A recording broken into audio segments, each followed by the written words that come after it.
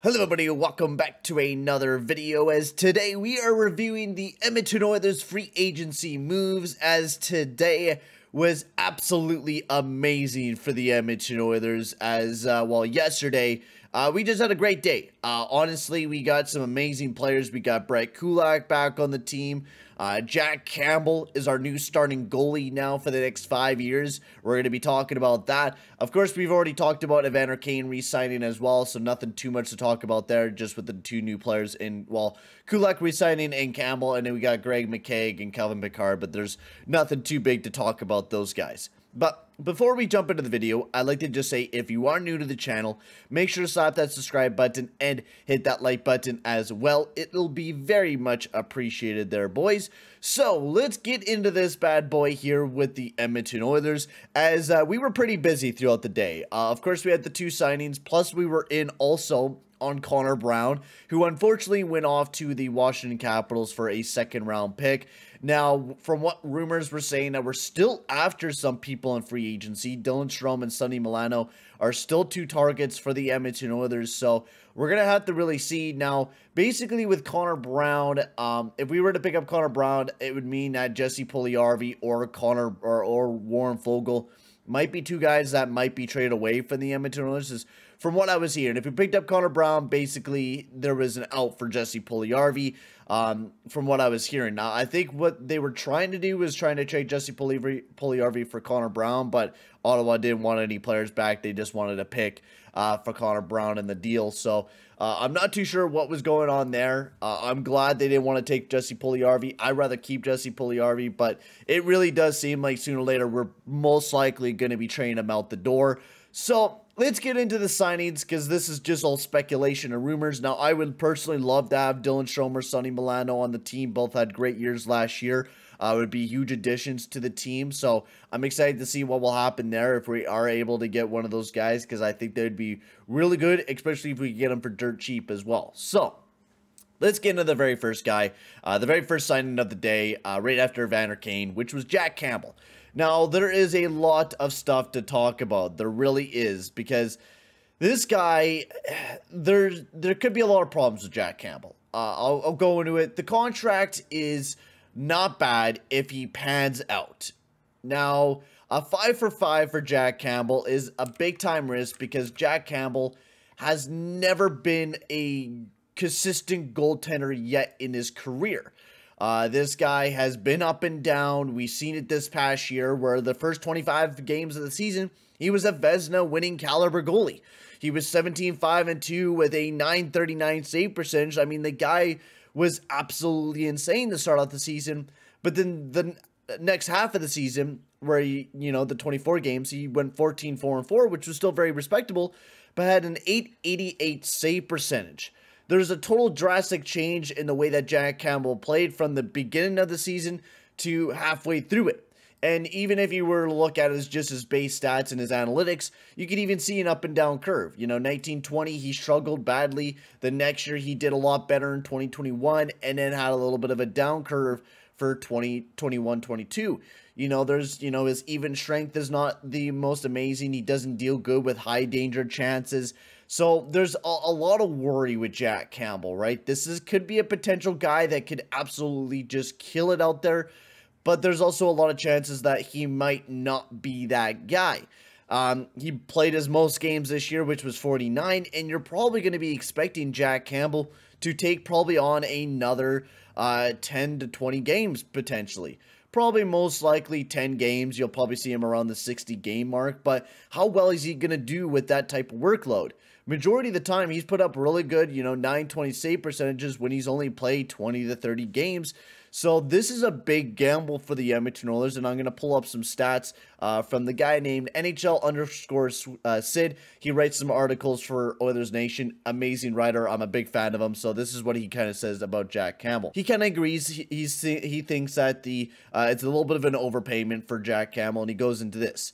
His raw percentage is solid, but public and uh, uh, proprietary, if I could speak properly, goaltender metrics that account for shot quality are exceedingly fond of him. Uh, with that said, he seems like a great person, of course, and uh, goaltender can be unpredictable, which it absolutely is, and I hope he tries here, and I definitely think that as well. Campbell ranks 33rd out of the 65 goalies in the past two years in goals saved above expected.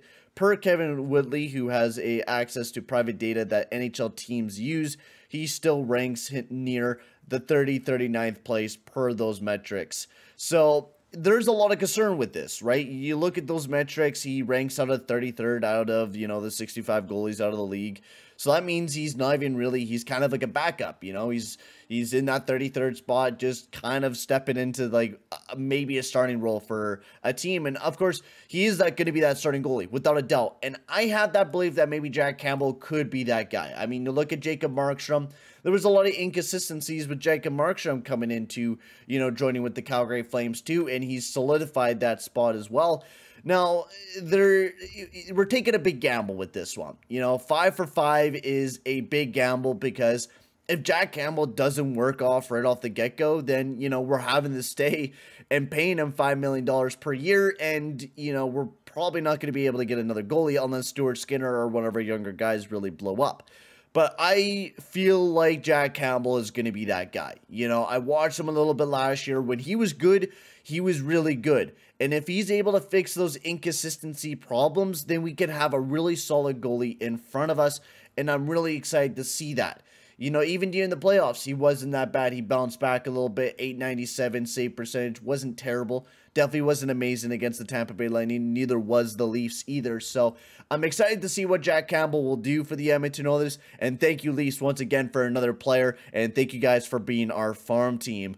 I just got to throw that one out there because apparently the Leafs and Oilers are still bickering at each other to this day, um, and, and, we're still fighting about the fact that we're we're stealing all the Leafs players, which I understand. I, I understand a little bit. But now we get on to the most amazing move. Now, before I go off on the Campbell move, I love the deal. Um, a little bit of an overpayment could have been a year less for the term, but honestly, that's what you're going to get for Jack Campbell at five mil. At least we're not having to pay him five point five or anything like that. I'm not a hate I'm not hating that deal at all. I really enjoyed.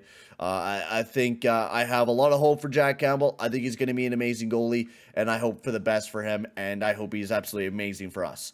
Uh, but moving forward, let's go on to the next guy, Brett Kulak, and wow, what a deal this was.